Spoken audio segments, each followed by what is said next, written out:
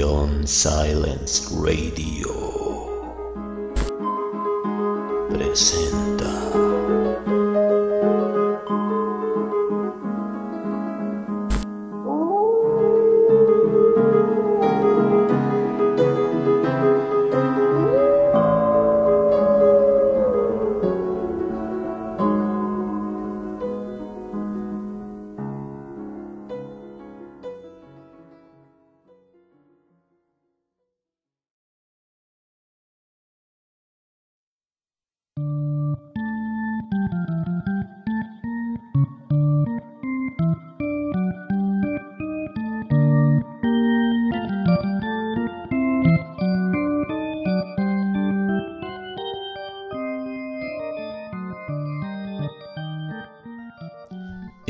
De Salem de Henry Cutner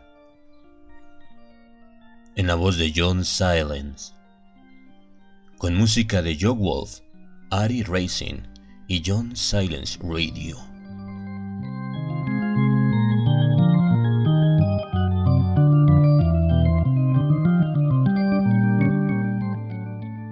La primera vez que Carson reparó en los ruidos de su sótano, los atribuyó a las ratas. Más tarde, empezó a oír historias que circulaban entre los supersticiosos polacos que trabajaban en el molino de Derby Street acerca de la primera persona que ocupó la antigua casa, Abigail Brain.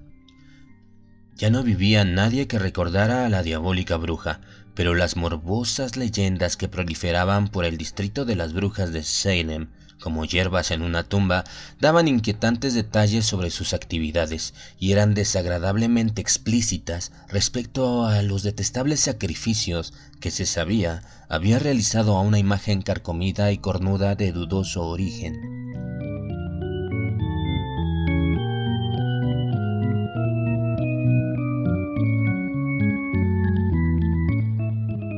Los más ancianos aún hablaban en voz baja de Avi Prim y de sus monstruosos alardes sobre que era la gran sacerdotisa del poderoso Dios que moraba en la profundidad de los montes.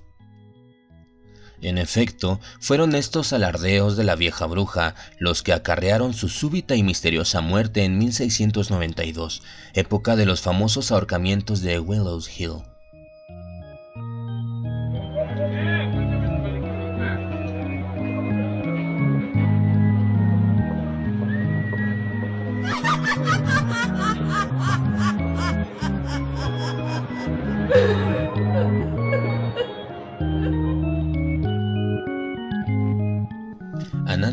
Hablar de esto, aunque a veces alguna vieja desdentada se atrevía a comentar medrosamente que las llamas no podían quemarla porque todo el cuerpo había asumido la peculiar anestesia de su condición de bruja.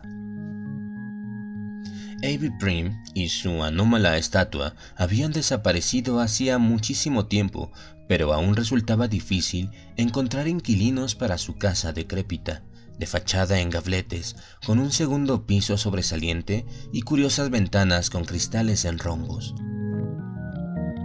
La fama de malignidad de la casa se había extendido por todo Salem. En realidad, no había sucedido nada ahí en los recientes años que pudiese dar origen a historias inexplicables, pero quienes llegaban a alquilar la casa solían mudarse a toda prisa, generalmente con vagas y poco satisfactorias explicaciones relacionadas con las ratas. Y fue una rata la que llevó a Carson a la habitación de la bruja.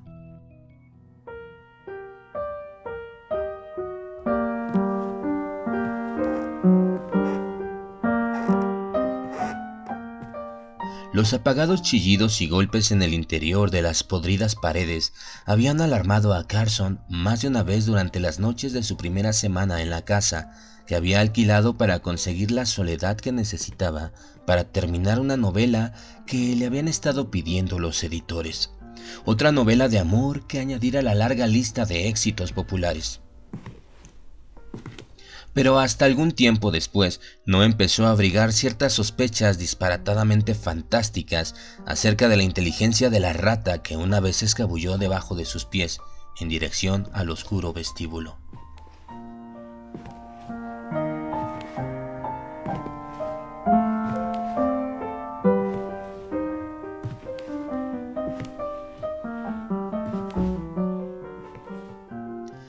Casa tenía instalación eléctrica, pero la bombilla del vestíbulo era floja y daba una luz muy pobre. La rata era una sombra negra, deforme, cuando saltó a pocos metros de él y se detuvo, al parecer para observarle.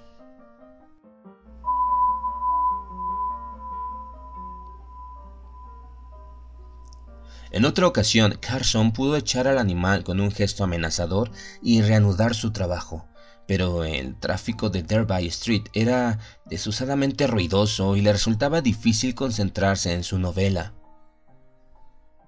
Sus nervios, sin razón aparente, estaban tensos. Por otra parte, la rata, vigilándole fuera de su alcance, le contemplaba con burlona diversión.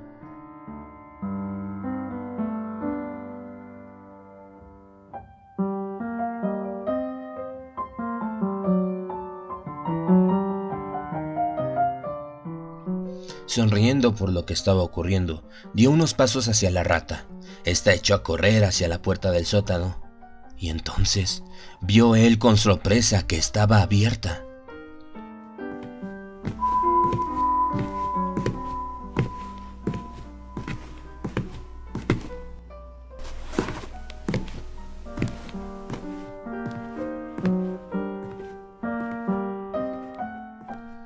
Pensó que tal vez olvidó cerrarla la última vez que estuvo allí, aunque generalmente tenía cuidado de dejar todas las puertas cerradas, pues la vieja casa tenía corrientes de aire. La rata esperó en la puerta. Irracionalmente molesto, Carson se fue hacia ella a toda prisa, poniendo en fuga a la rata escaleras abajo.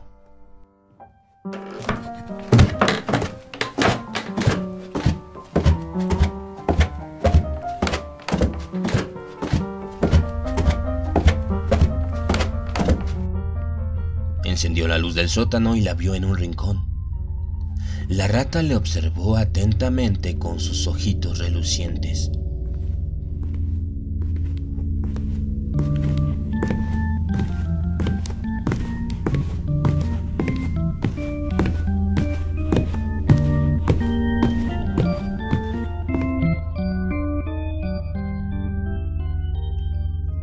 Al descender las escaleras no había podido evitar la sensación de que se estaba comportando como un idiota. Pero su trabajo había sido agotador y subconscientemente aceptaba con agrado cualquier interrupción.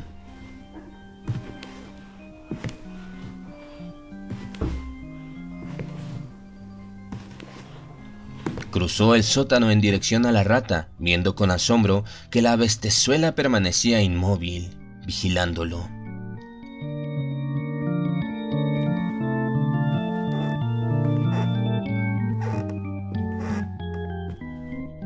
Se comporta de manera anormal, pensó, y la mirada fija de sus ojos como botones resultaba un tanto inquietante. Luego se rió de sí mismo, pues la rata dio un brinco repentino y desapareció por un agujero de la pared del sótano.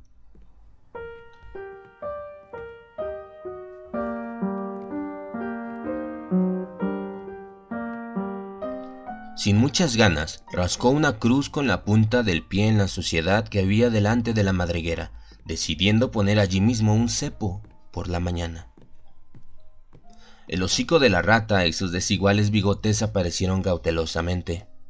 Después, el animal empezó a conducirse de un modo singular e inexplicable, casi como si estuviese bailando, pensó Carson. Avanzaba como a tientas y luego se retiraba otra vez.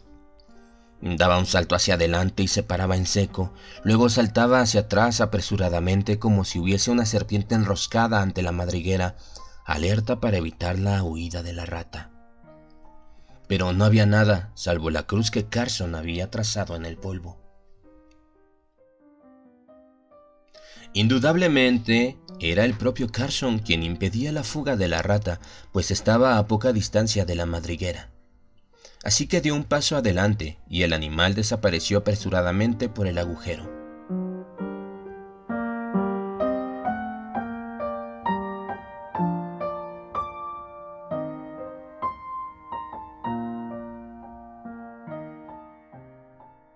Picado en su curiosidad, Carson buscó un palo y hurgó en el agujero, tanteando. Al hacerlo, sus ojos, Próximos a la pared, descubrieron algo extraño en la losa de piedra que había encima de la madriguera de la rata.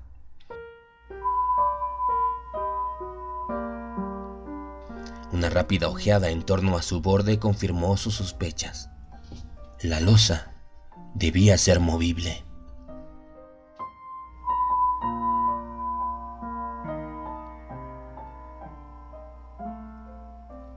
Carson la inspeccionó minuciosamente y notó una depresión en su borde a modo de agarradera. Sus dedos se acoplaron cómodamente a la muesca y probó a jalar. La piedra se movió un poco y se detuvo.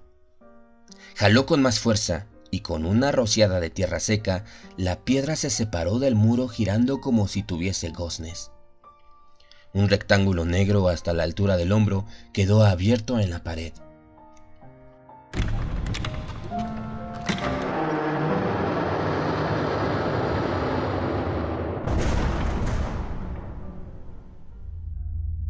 De sus profundidades emanó un hedor mohoso, desagradable, de aire estancado, y Carson involuntariamente retrocedió un paso.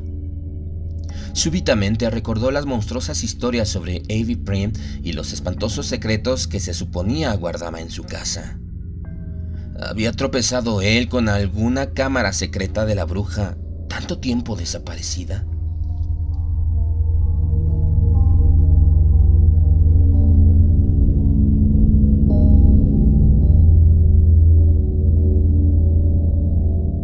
Antes de entrar en la negra abertura, tomó la precaución de tomar una linterna.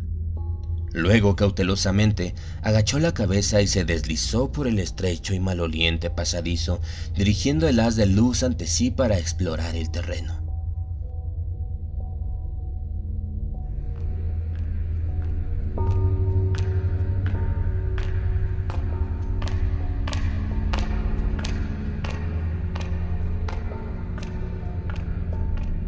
Estaba en un estrecho túnel, escasamente más alto que su cabeza, con pavimento y paredes de losa. Seguía recto, quizá unos 5 metros, y luego se ensanchaba formando una cámara espaciosa. Indudablemente un escondite de Ivy Prim, un cuarto secreto, pensó, que sin embargo no pudo salvarla el día que el populacho enloquecido de pavor invadió furioso Derby Street. Aspiró y tuvo una expresión de asombro. La habitación era fantástica. Fue el suelo lo que atrajo la mirada de Carson. El oscuro gris de la pared circular cedía sitio aquí a un mosaico de piedra multicolor en el que predominaban los azules y los verdes y los púrpuras. En efecto, no había colores más cálidos. Debía de haber miles de trocitos de piedras de colores componiendo el dibujo, pues ninguno era mayor que el tamaño de una nuez. El mosaico parecía seguir algún trazado concreto, desconocido para Carson. Había curvas de color púrpura y violeta, combinadas con líneas angulosas verdes y azules, entremezcladas en fantásticos arabescos.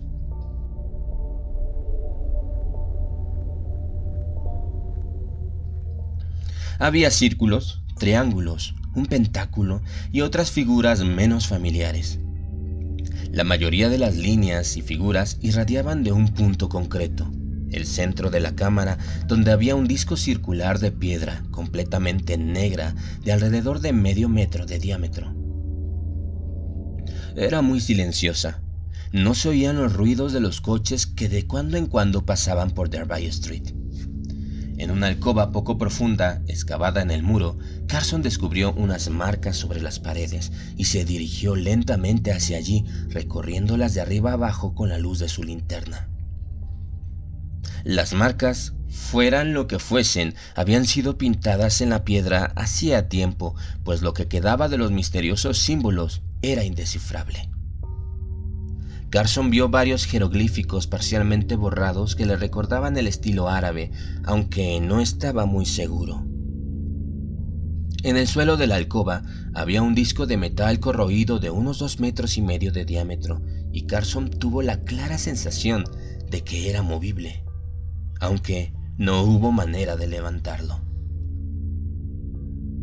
Se dio cuenta de que se hallaba de pie exactamente en el centro de la cámara, en el círculo de piedra negra donde convergía el singular trazado. Nuevamente se le hizo patente el completo silencio.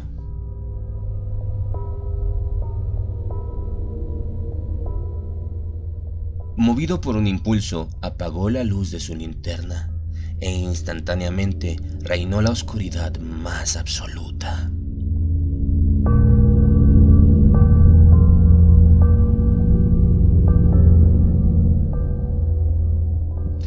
Ese momento, una singular idea se deslizó en su mente. Se imaginó a sí mismo en el fondo de un pozo y que de arriba descendía un flujo que se derramaba por el eje de la cámara para tragárselo. Tan fuerte fue su impresión que realmente le pareció oír un tronar apagado como el rugido de una catarata.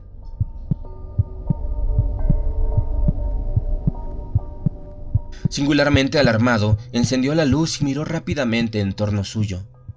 El percutir que sentía era naturalmente el pulso de su sangre, que se hacía audible en el completo silencio, fenómeno bastante familiar. Pero sí, este lugar era tan silencioso. La idea le asaltó como una súbita punzada en su conciencia. Este era un sitio ideal para trabajar. Podía instalar la luz eléctrica, bajar una mesa y una silla, utilizar un ventilador si era necesario, aunque el olor a moho que había notado al principio parecía haber desaparecido por completo. Se dirigió hacia la entrada del pasadizo y al salir de la habitación experimentó un inexplicable relajamiento de sus músculos, aunque no se había dado cuenta de que los tenía contraídos lo que atribuyó al nerviosismo, y subió a prepararse un café y a escribir al dueño de la casa que vivía en Boston, contándole el descubrimiento que había hecho.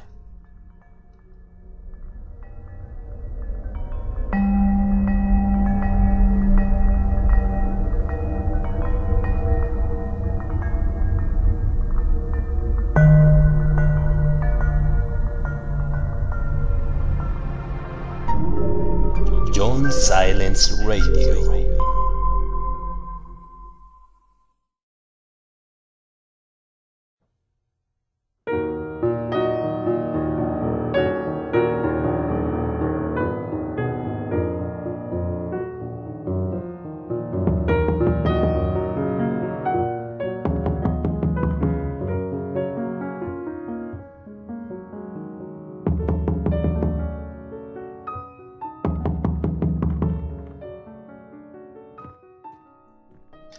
Visitante miró con curiosidad hacia el vestíbulo una vez que hubo abierto Carson la puerta y asintió para sí con satisfacción.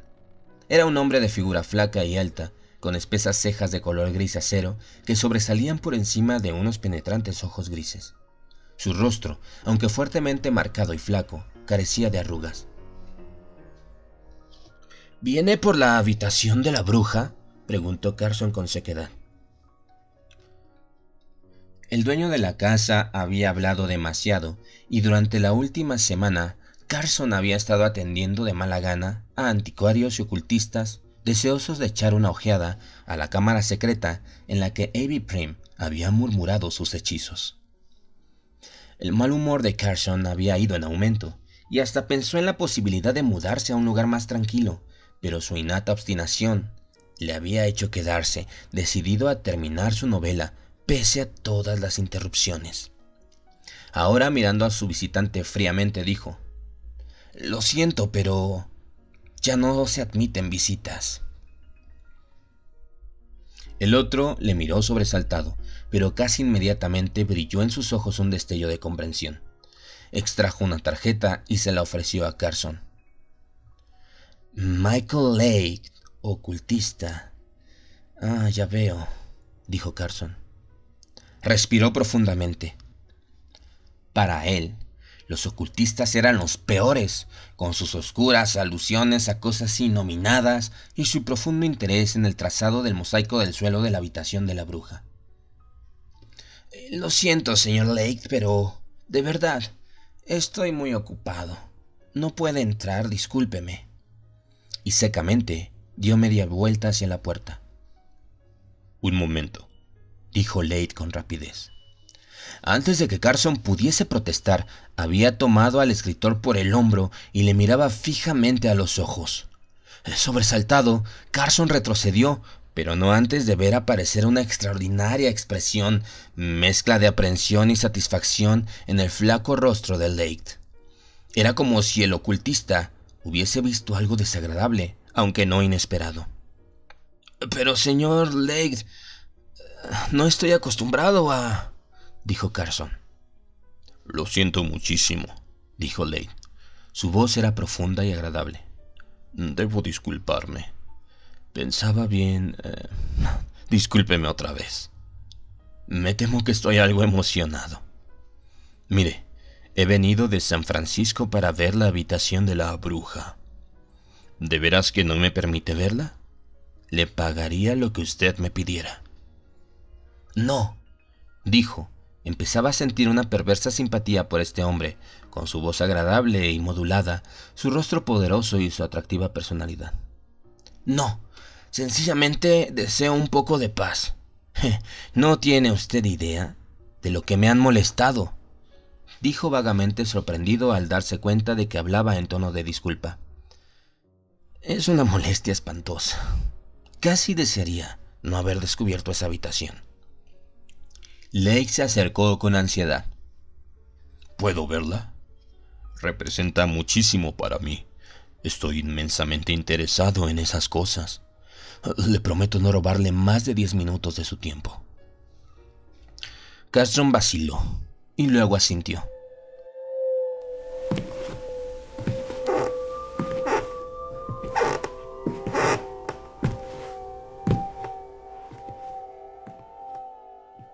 Mientras conducía a su visitante al sótano, se puso a contarle las circunstancias del descubrimiento de la habitación de la bruja. Lake escuchaba atentamente, interrumpiéndole de cuando en cuando con alguna pregunta. ¿Y usted sabe qué ocurrió con la rata? preguntó. Carson se quedó sorprendido. Eh, pues no, supongo que se ocultaría en su madriguera. Eh, ¿Por qué? Nunca se sabe, dijo Lake enigmáticamente cuando entraba en la habitación de la bruja.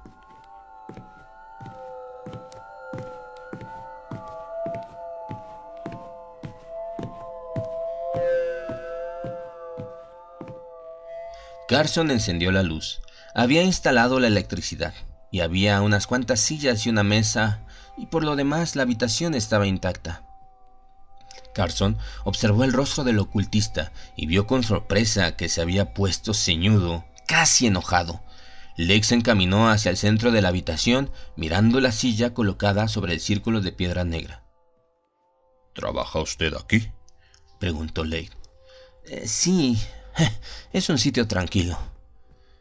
He visto que no hay manera de trabajar arriba porque hay demasiado ruido. Pero este es el lugar ideal. Me resulta muy fácil escribir aquí.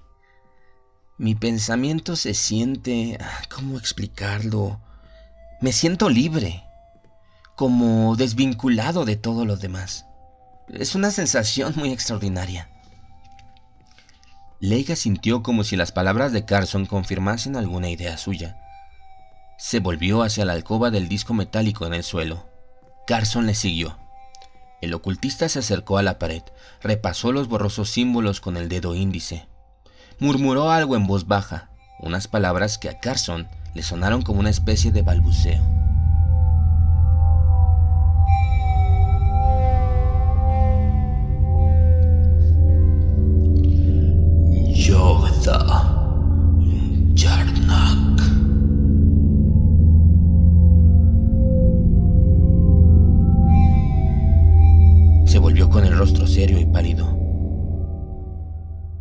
He visto bastante. Me gustaría salir de aquí. Sorprendido, Carson asintió y le condujo de nuevo al sótano. Una vez arriba, Lake vaciló como si le resultase difícil abordar el tema. Y por último preguntó. Eh, señor Carson, ¿le importaría decirme si ha tenido usted algún sueño extraño últimamente? Carson se quedó mirándolo con la burla bailándole en los ojos. ¿Eh, ¿Sueños? Oh, oh comprendo. Eh, um, bueno, señor Lake, puedo decirle que no me va a asustar. Sus colegas, los otros ocultistas que han venido a visitar la casa, también me han dicho las mismas cosas y no me van a asustar. Lake alzó sus cejas espesamente. ¿Sí? ¿Y también ellos le preguntaron sobre los sueños? Pues sí, varios, varios me preguntaron. ¿Y qué les contestó? Que no. Luego, mientras Lake se echaba hacia atrás en su silla con una expresión confundida en el rostro, Carson prosiguió lentamente. Les he dicho que no he tenido sueños, aunque realmente no estoy seguro. ¿Qué quiere decir? Creo que tengo la vaga impresión de que he soñado últimamente, pero no recuerdo, no estoy seguro. No puedo recordar nada de aquellos sueños y... Bueno, lo más probable es que sus colegas ocultistas me estén metiendo ideas en la cabeza. Quizá, dijo Lake mientras se levantaba. Señor Carson, voy a hacerle una pregunta más impertinente. Señor Carson, ¿realmente quiere seguir viviendo en esta casa? Carson suspiró con resignación. Cuando me hicieron la primera vez esta pregunta, expliqué que quería un lugar tranquilo para trabajar en una novela y que cualquier lugar tranquilo podría servirme. Pero ese lugar, pues, no es fácil encontrarlo. Ahora que tengo esta habitación de la bruja y me está saliendo el libro con tanta facilidad, no veo por qué razón me tengo que mudar y alterar quizá mi rutina. Dejaré esta casa cuando haya terminado mi novela. Entonces podrán ocuparla ustedes, los ocultistas, y convertirla en museo o hacer con ella lo que quieran. A mí no me importa. Pero hasta que no haya terminado mi novela, pienso permanecer aquí. Lex se frotó la barbilla. Desde luego, entiendo su preocupación y su punto de vista. Pero ¿no hay otro lugar en la casa donde pueda usted trabajar? Miró a Carson en el rostro un instante y luego continuó rápidamente. Mire, señor Carson, no espero que me crea, pero usted es materialista. La mayoría de la gente lo es, pero algunos de nosotros sabemos que por encima y más allá de lo que los hombres llaman ciencia, hay un saber que se funda en leyes y principios que a los hombres corrientes les resultarían incomprensibles. Si ha leído a McKean, recordará que habla del abismo que existe entre el mundo de la conciencia y el de la materia. Y es posible tender un puente sobre este abismo. Señor, la habitación de la bruja es ese puente. ¿Sabe que es una sala de los secretos? Eh, ¿Sala de los secretos? exclamó Carson. Pero no hay ningún secreto. Es una analogía, es solamente una analogía, señor Carson. Un hombre puede susurrar una palabra en una galería o cueva, y si usted se sitúa en un punto concreto, a unos 30 metros, oye ese susurro, aunque no lo oiga alguien que se encuentre a solo 3 metros. Es un simple truco de acústica. Consiste en la proyección del sonido en un punto focal. Bien, este principio es aplicable a otras cosas, además del sonido a cualquier onda de impulsos, incluso al pensamiento. Carson trató de interrumpirle, pero Lake prosiguió. Esa piedra negra del centro de su habitación de la bruja es uno de esos puntos focales. El dibujo del suelo, cuando usted se sienta en el círculo negro, se vuelve anormalmente sensible a ciertas vibraciones. ¿Cómo explicar? A ciertos mandatos mentales. Y es peligrosamente funcional. ¿Le parece que tiene la cabeza muy clara cuando trabaja allí? Pues es una ilusión, una falsa sensación de lucidez. En realidad, usted es un mero instrumento, un micrófono sintonizado para captar determinadas vibraciones malignas cuya naturaleza no podría comprender.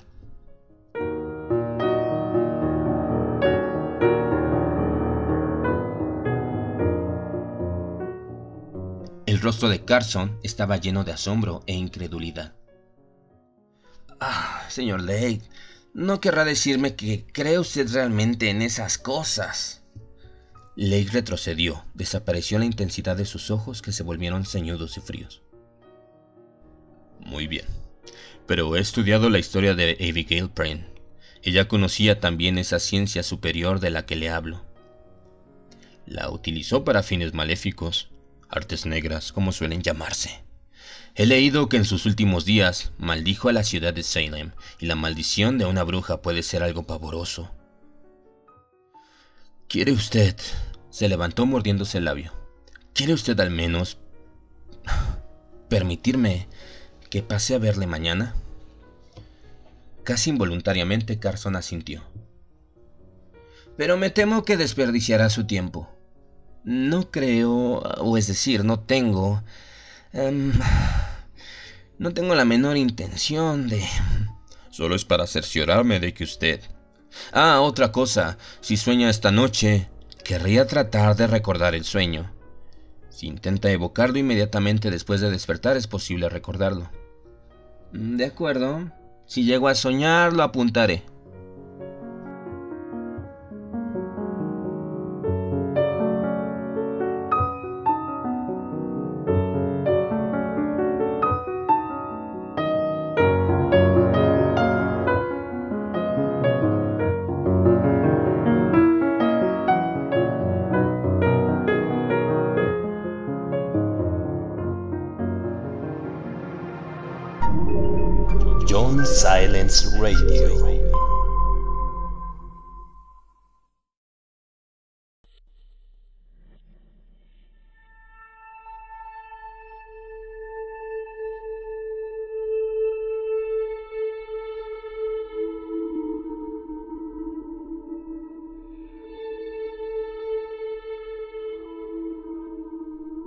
Esa noche Carson soñó. Se despertó poco antes del amanecer con el corazón latiéndole furiosamente y con una extraña sensación de desasosiego. Dentro de las paredes y procedentes de abajo podía oír las furtivas carreras de las ratas. Saltó de la cama apresuradamente temblando en la fría claridad de la madrugada. Una luna desmayada brillaba aún débilmente en un cielo pálido, y entonces recordó las palabras de Leigh. Había soñado, de eso no cabía la menor duda, pero cuál era el contenido de dicho sueño era otra cuestión. Porque por mucho que lo intentó, no pudo recordarlo en absoluto, aunque tenía la vaga sensación de que corría frenéticamente en la oscuridad.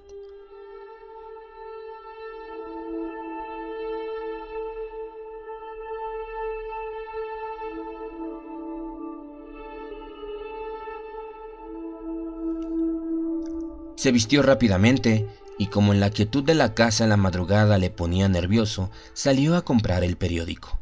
Era demasiado temprano para que las tiendas estuviesen abiertas, sin embargo, y se dirigió hacia el oeste en busca de un vendedor de periódicos, torciendo por la primera esquina.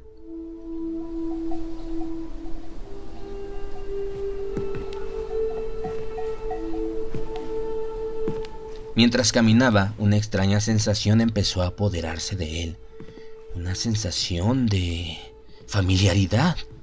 Había caminado por aquí antes y notaba una oscura y turbadora familiaridad en las formas de las casas, en las siluetas de los tejados. Pero, y esto era lo fantástico, que él supiera, jamás había estado antes en esa calle.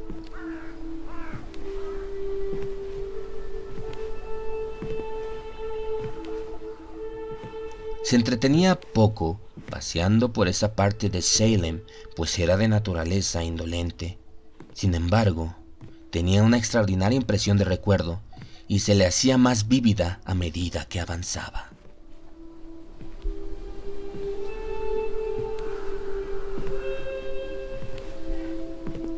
Llegó a una esquina y dobló maquinalmente a la izquierda. La singular sensación iba en aumento. Siguió caminando despacio, reflexionando. Indudablemente había pasado por aquí antes y muy probablemente lo había hecho abstraído, de suerte que no había tenido conciencia de su trayecto. Sin duda, era esta la explicación. Sin embargo, al desembocar en Charter Street, Carson sintió en su interior una rara intranquilidad.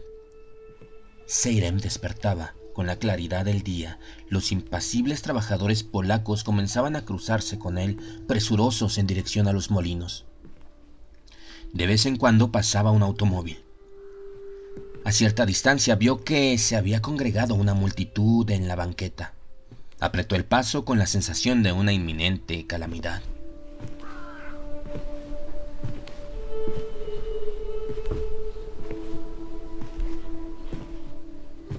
Con extraordinario estupor, vio que se encontraba en el cementerio de Charter Street, la antigua y mal afamada necrópolis. Se abrió paso entre la multitud.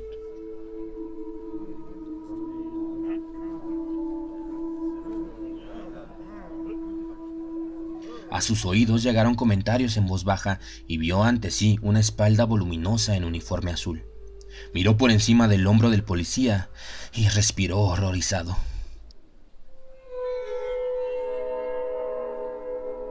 Había un hombre inclinado sobre la verja de hierro que cercaba el cementerio. Llevaba un traje barato, llamativo, y se agarraba a las herrumbrosas barras con una fuerza tal que los tendones le sobresalían como cuerdas en el dorso peludo de sus manos. Estaba muerto, y en su cara, vuelta hacia el cielo en un gesto dislocado, se había congelado una expresión de abismal y espantoso terror.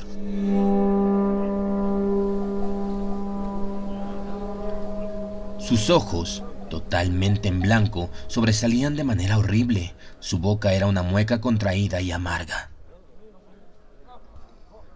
El hombre que estaba junto a Carson volvió su pálido rostro hacia él. Parece como si hubiese muerto de miedo, dijo. Me horrorizaría ver lo que ha debido presenciar este hombre. Uf, mire esa cara.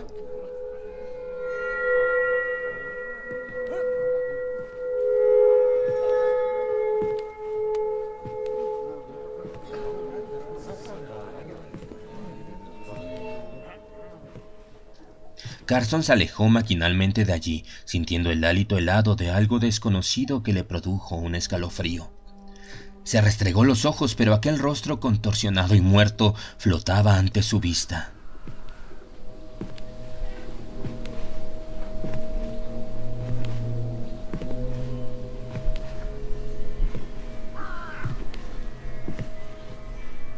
Comenzó su camino, inquieto y algo tembloroso.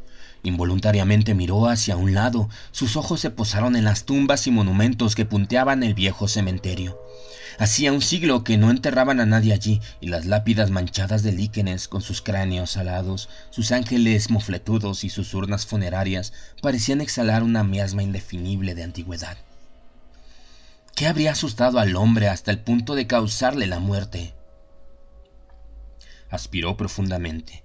Desde luego, el cadáver había sido un espectáculo horrible, pero no debía permitir que esto alterara sus nervios. No podía consentirlo. Esto perjudicaría su novela. Además, razonó consigo mismo. El caso estaba lo suficientemente claro.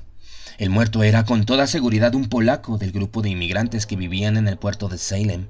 Al pasar junto al cementerio por la noche, lugar en torno al cual habían surgido numerosas y horribles leyendas durante casi tres siglos, los ojos embriagados de aquel desdichado debieron de dar realidad a los brumosos fantasmas de su mente supersticiosa.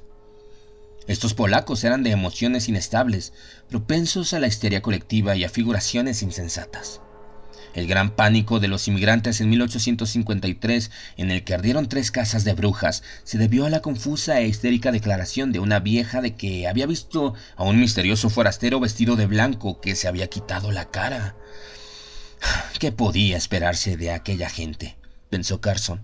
Sin embargo, seguía nervioso y no regresó a casa hasta casi mediodía. Cuando a su llegada encontró a Leith, el ocultista, esperándolo, se alegró de verle y le invitó a pasar con cordialidad.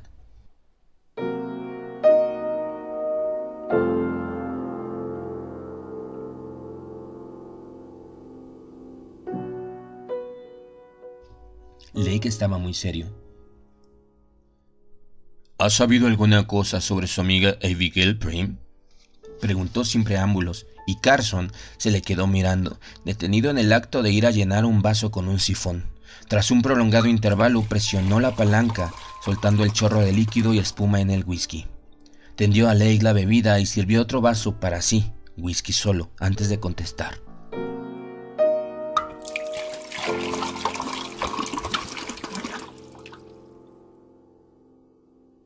Eh, no sé de qué me habla. ¿Qué quiere decir? ¿Qué pasa con ella? Preguntó con un aire de forzada despreocupación. He estado revisando los informes, dijo Lade, y he averiguado que Abigail Prim fue enterrada en el 14 de diciembre de 1690 en el cementerio de Charter Street, con una estaca en el corazón. ¿Qué ocurre? Eh, nada, dijo Carson. ¿Y luego? Pues, resulta que han abierto su tumba y han robado su cadáver. Hm, ¿Eso le parece poco? Han encontrado la estaca arrancada y hay huellas de pisadas por todo alrededor de la tumba, huellas de zapatos. Dígame, ¿soñó usted anoche, señor Carson? Lex soltó la pregunta como un latigazo y sus ojos se endurecieron. Eh, no lo sé, contestó Carson confundido. La verdad no lo recuerdo. He estado en el cementerio de Charter Street esta madrugada.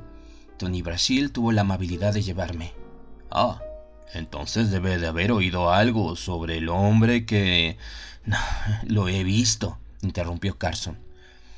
Me ha dejado trastornado.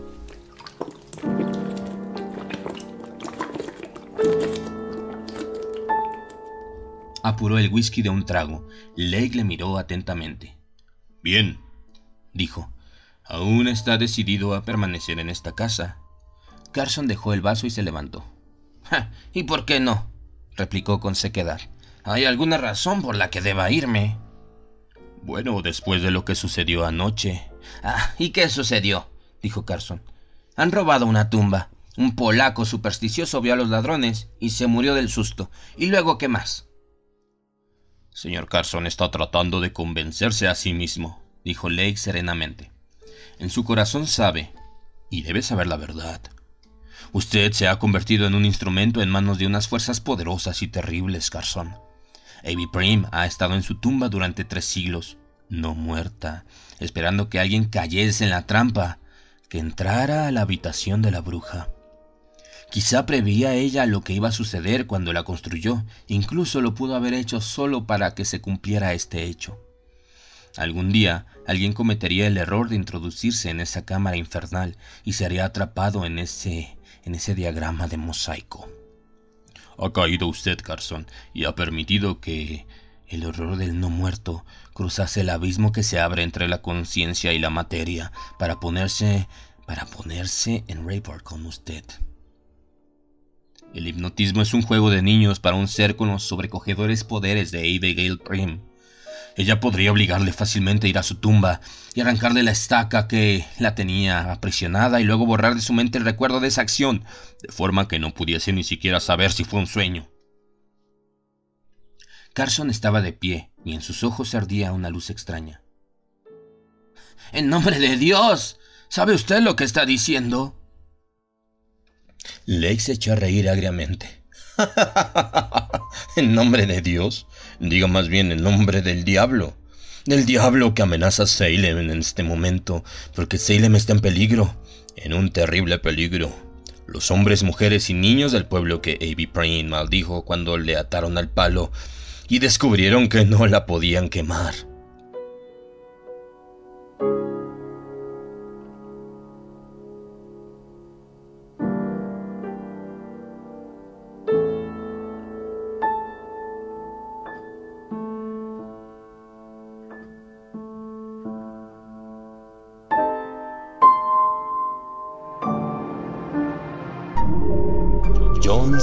Silence Radio.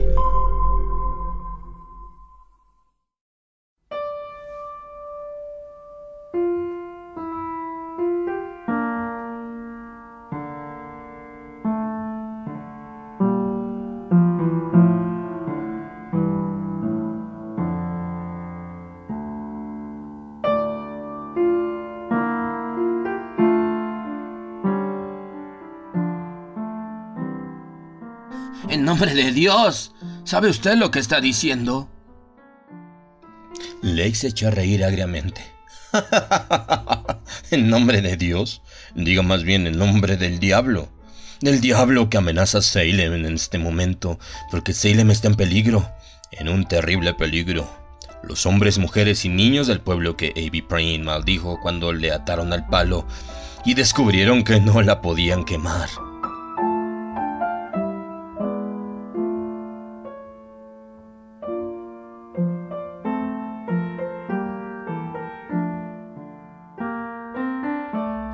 Examinado unos archivos secretos esta mañana y he venido a rogarle por última vez que abandone esta casa.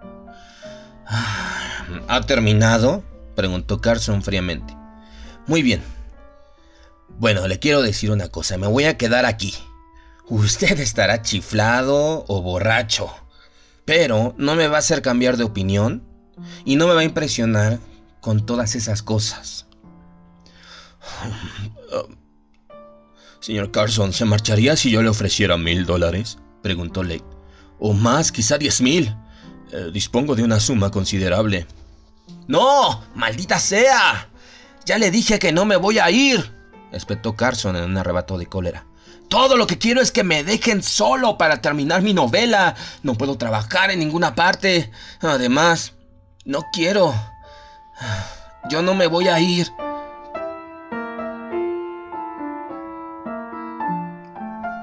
Me lo esperaba, dijo Ley, con voz súbitamente tranquila y con una extraña nota de simpatía. Señor, no es que usted no quiera irse, es que usted ya no puede marcharse. Está atrapado y es demasiado tarde para sustraerse a los controles cerebrales de Ivy Prim a través de la habitación de la bruja. Y lo peor de todo es que ella solo puede manifestarse con su ayuda. Le extrae sus fuerzas vitales, Carson. Se alimenta de usted como un vampiro. ¡Está usted loco! Tengo miedo, Carson. Ese disco de hierro de la habitación de la bruja. Me da miedo. Y lo que hay debajo. Abby Prim rendía culto a extraños dioses, Carson, y he leído algo en la pared de esa alcoba que me ha hecho pensar. ¿Alguna vez ha oído hablar de Njokta?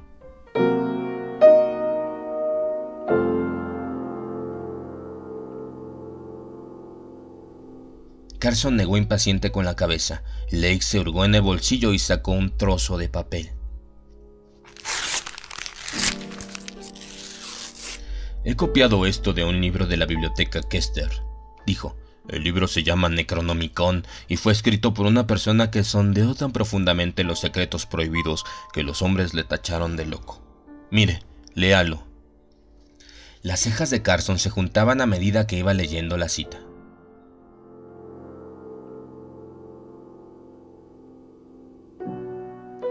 Los hombres conocen con el nombre del morador de la oscuridad al hermano de los primordiales llamado Yogda, la entidad que no debiera existir. Puede ser traído a la superficie de la tierra a través de ciertas cavernas y fisuras secretas, y los hechiceros le han visto en Siria, bajo la torre negra de Lenk. Ha ido al Zangroto de Tartaria para sembrar el terror y la destrucción entre los pabellones del Gran Khan Solo por la cruz ansada, por el conjuro de Bak y por el elixir Tikon puede ser devuelto a las tenebrosas cavernas de oculta impureza donde mora.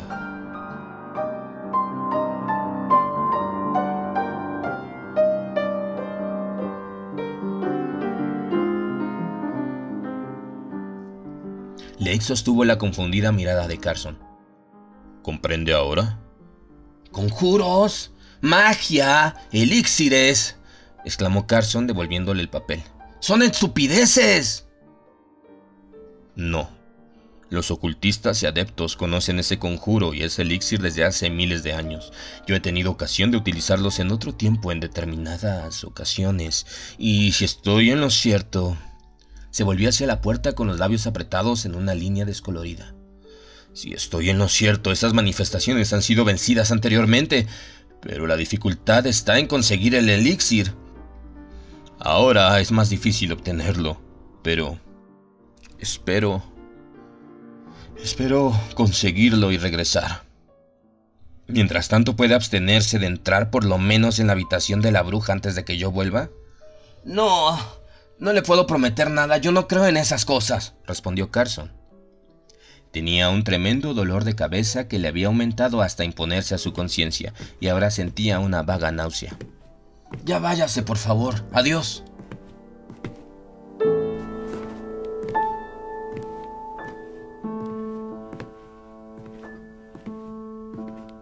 Vio a Lake dirigirse a la puerta y aguardó en la escalera de la entrada con una extraña renuencia a entrar en la casa. Mientras miraba alejarse la figura del ocultista, salió una mujer de la casa adyacente.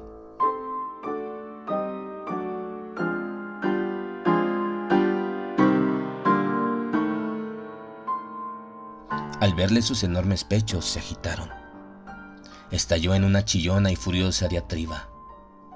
Carson se volvió y se quedó mirándola con ojos desconcertados. La cabeza le latía dolorosamente. La mujer se acercaba agitando un puño gordo y amenazador. ¿Por qué asusta usted a mi Sara? gritó con su cara morena congestionada. ¿Por qué la asusta con sus trucos estúpidos? Carson se humedeció los labios.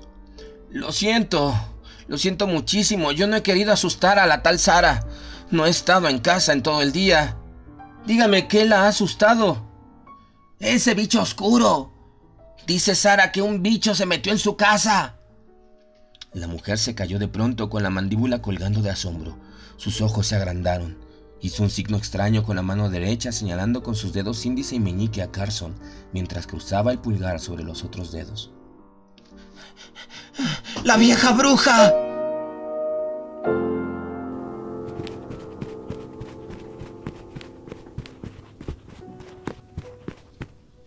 Se retiró apresuradamente, murmurando palabras en polaco con voz asustada, tal como haría Osmok Lukult.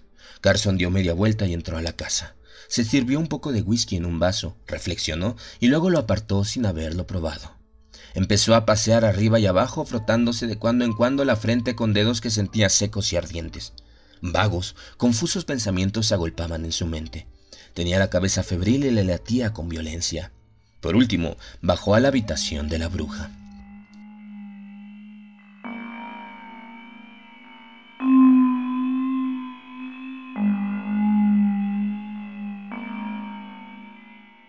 Se quedó allí, aunque no trabajó. Su dolor de cabeza no era tan opresivo en la mortal quietud de la cámara del subsuelo. Y al cabo de un rato, se durmió.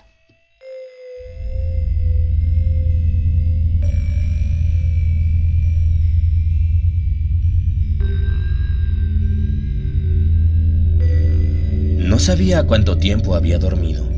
Soñó con Salem y con un ser confusamente definido, negro y gelatinoso, que recorría las calles a sobrecogedora velocidad. Un ser como una amiba increíblemente grande, negra como el azabache, que perseguía y se tragaba a los hombres y mujeres que gritaban y huían en vano. Soñó con un rostro de calavera que escudriñaba en su interior, un semblante reseco y contraído, en el que solo los ojos parecían vivos y brillaban con una luz infernal y perversa. Despertó finalmente y se incorporó con un sobresalto. Tenía mucho frío.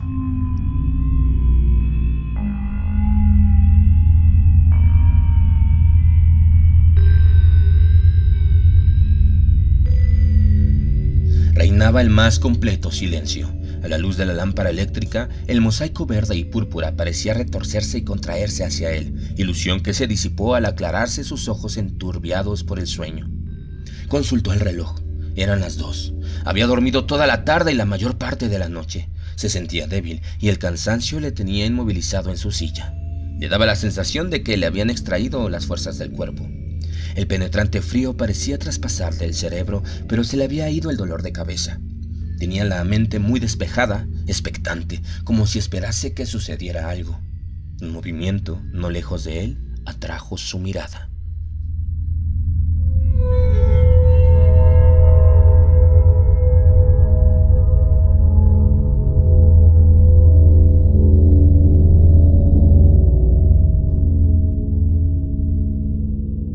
Se estaba moviendo una losa en la pared. Oyó un suave ruido chirriante y lentamente se ensanchó la negra cavidad, convirtiéndose la ranura en un cuadrado. Algo se movió en la sombra. Un tenso y ciego horror traspasó a Carson al ver avanzar a rastras hacia la luz de aquella monstruosidad.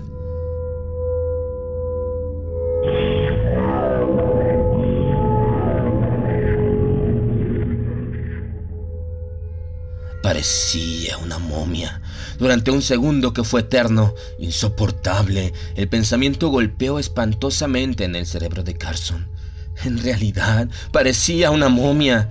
Era un cadáver de una delgadez descarnada, con la piel ennegrecida y el aspecto de un esqueleto con el pellejo de un enorme lagarto extendido sobre sus huesos.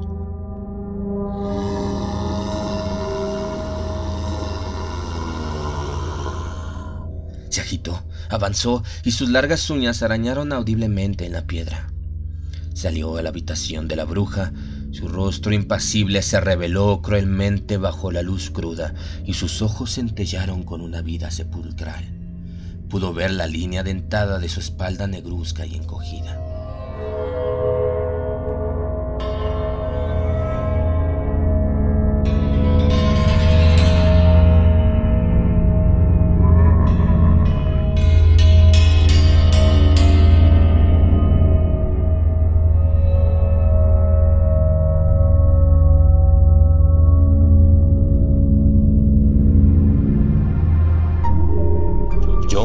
Silence Radio.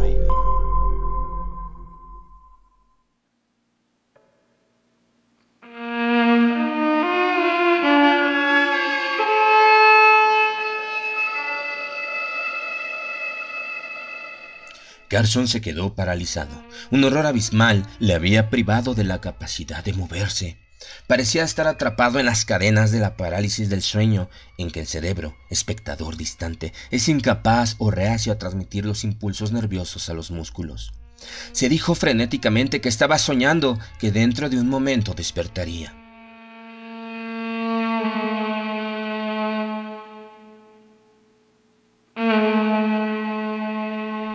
El seco horror se incorporó, se puso en pie, descarnadamente flaco, y se dirigió a la alcoba en cuyo suelo estaba encajado el disco de hierro. Se detuvo de espaldas a Carson y un susurro reseco crepitó en la quietud mortal. Al oírlo, Carson quiso gritar, pero no pudo. El espantoso murmullo continuó en un lenguaje que a Carson se le antojó extraterreno, y como en respuesta, un casi imperceptible estremecimiento sacudió el disco de hierro.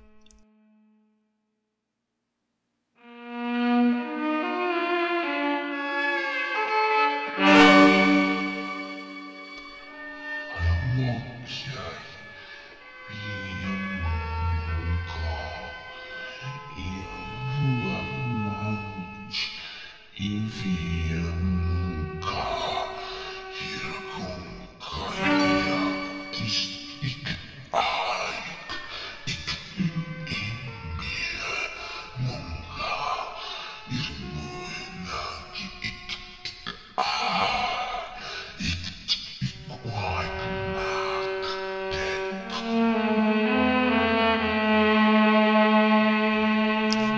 Y comenzó a levantarse muy lentamente, y como un gesto de triunfo, el encogido horror alzó sus delgadísimos brazos. El disco tenía más de 20 centímetros de espesor y a medida que se separaba del suelo comenzaba a penetrar en la habitación un hedor insidioso. Era vagamente un olor a reptil, almizclado y nauseabundo. El disco se elevó inexorablemente y un dedo de negrura surgió de debajo del borde, y súbitamente Carson recordó el sueño que había tenido de una criatura negra y gelatinosa que recorría las calles de Salem. Trató en vano de romper las cadenas de la parálisis que le tenían inmovilizado. La cámara estaba quedándose a oscuras y en un vértigo tenebroso aumentaba progresivamente para tragárselo a él.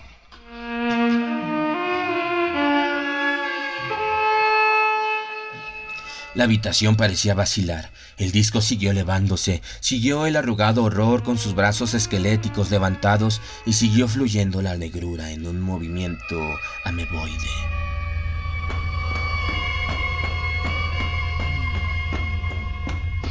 Se oyó un ruido por encima del seco susurro de la momia, un vivo resonar de pasos presurosos.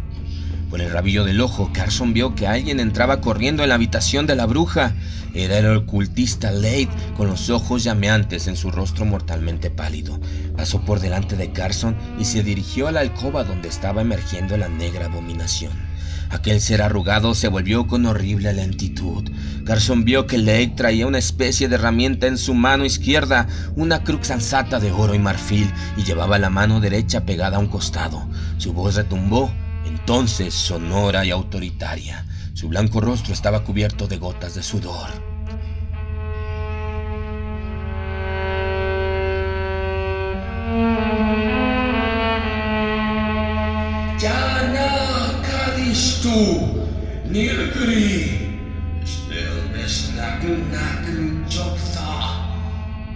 Czarna i Negejefor.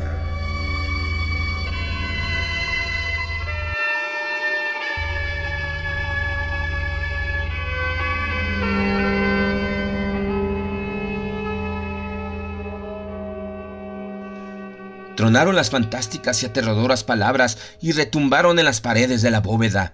Leigh avanzó lentamente sosteniendo en alto la cruz ansata, y entre tanto la negra abominación seguía manando de debajo del disco. Cayó el disco a un lado y una gran oleada de iridiscente negrura, ni sólida ni líquida, una espantosa masa gelatinosa, se derramó en dirección a Leigh. Sin detenerse, este hizo un gesto rápido con su mano derecha y lanzó un pequeño tubo de cristal a aquella cosa negra en la que se hundió.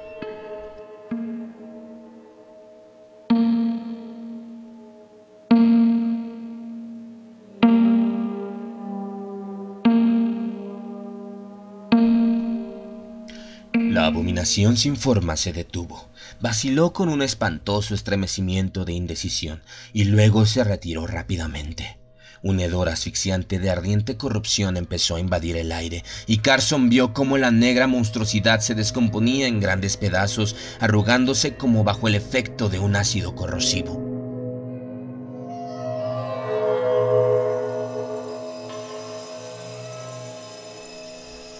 Contrajo en un vivo movimiento licuescente, goteando su espantosa carne negra a medida que se consumía.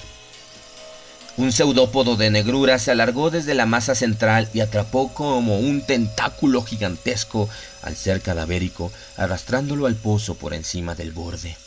Otro tentáculo cogió el disco de hierro, lo arrastró sin esfuerzo por el suelo, y cuando la abominación desapareció de la vista, el disco cayó en su sitio con un estampido atronador.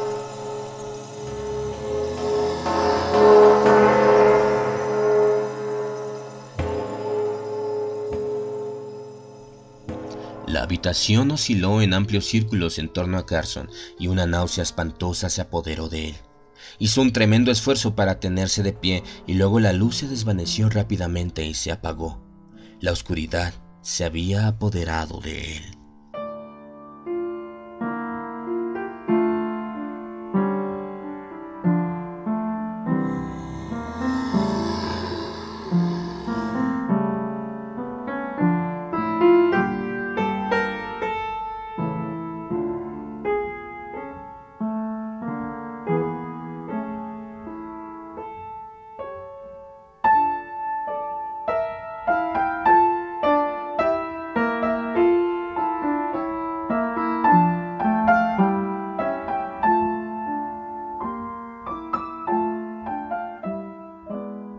Carson no llegó a terminar la novela.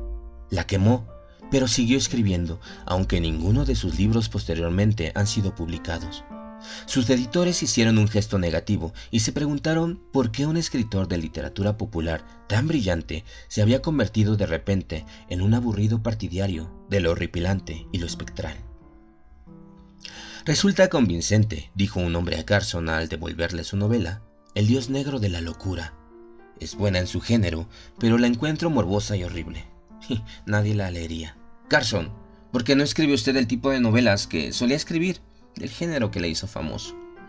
Fue entonces cuando Carson rompió su promesa de no hablar sobre la habitación de la bruja y le contó la historia con la esperanza de que le comprendiera y creyera, pero al terminar su corazón desfalleció al verle al otro la cara de simpatía y escepticismo. Ay, Carson, lo has soñado, ¿verdad? Preguntó el hombre, y Carson sonrió amargamente. Ah, sí, lo he soñado. Debe haberle producido una impresión terriblemente vívida en su espíritu. Algunos sueños la producen. Pero lo olvidará con el tiempo. Predijo, y Carson asintió y porque sabía que solo despertaría sospechas acerca de su cordura, no mencionó lo que bullía permanentemente en su cerebro, el horror que había visto en la habitación de la bruja al despertar de su desvanecimiento. Antes de huir, él y Leigh, pálidos y temblorosos de la cámara, Carson había lanzado una fugaz mirada hacia atrás. Los pedazos arrugados y corroídos que había visto desprenderse de aquel ser de loca blasfemia habían desaparecido inexplicablemente, aunque habían dejado negras manchas en las piedras. Avi Prim, quizá, había regresado al infierno que había adorado, y su dios inhumano se había retirado a los secretos abismos más allá de la comprensión del hombre, derrotado por las fuerzas poderosas de una magia anterior que el ocultista había manejado con éxito. Pero la bruja había dejado un recuerdo, una cosa espantosa que Carson, en esa última mirada hacia atrás, había visto emerger del borde del disco de hierro, como alzándose en irónico saludo, una mano arrugada en forma de garra.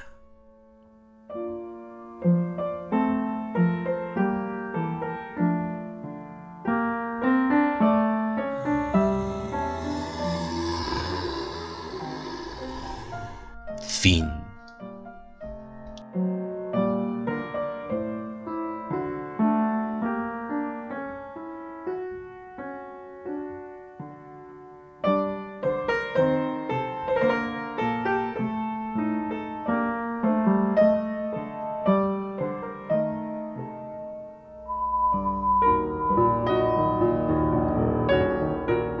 John Silence Radio. Suscríbete a nuestro canal en YouTube y forma parte de nuestro club de misterio.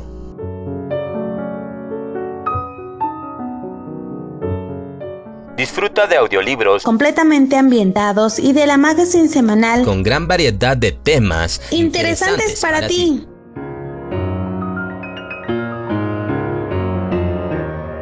Norteamérica a una altura de 2.240 metros sobre el nivel del mar. 2.240 metros sobre el nivel del mar. En el Valle de Anáhuac. En la ciudad de los Palacios. La monumental Ciudad de México. México. Para el mundo. Para el mundo. John Silence Radio. Investigador de lo oculto. Sigue escuchándonos.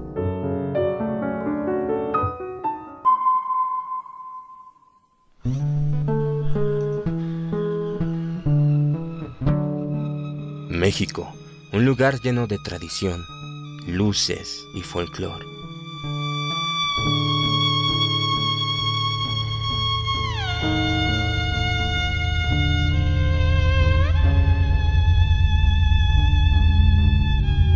Pero no todos los lugares son tan coloridos. No todos los lugares brillan. No todos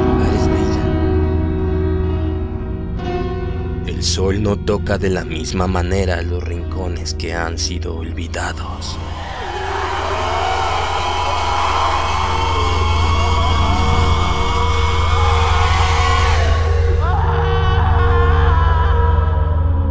Algunos pueblos están perdidos en el tiempo y son gobernados por las desoladas tinieblas.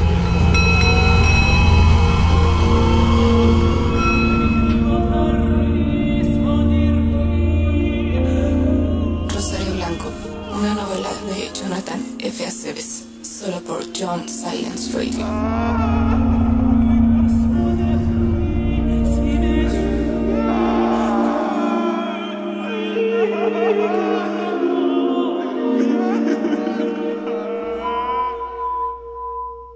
John Silence Radio. Suscríbete al canal y activa la campanita para que no te pierdas ninguno de nuestros videos.